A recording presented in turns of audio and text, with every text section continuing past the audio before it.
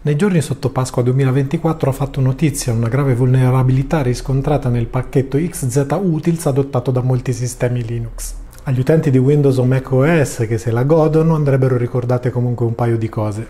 1. Da quando il problema è stato riscontrato a quando le distribuzioni Linux che ne erano interessate hanno ricevuto un aggiornamento di correzione sono passate poche ore. Con Windows o macOS non potrebbe mai succedere, l'ho documentato pubblicando i dati raccolti da Project Zero. 2. Il problema è stato scoperto grazie alla natura open source. I codici sorgenti in Linux sono ispezionabili e a quanto pare sono stati ispezionati compilando una nuova versione del programma priva della funzione malevola. 3. Magra consolazione personale. Nessuno dei sistemi operativi che io abbia mai consigliato nel video recente sulle distro facili 2024 o su quelle ultraleggere o la versione stabile di Debian ne è mai stato interessato.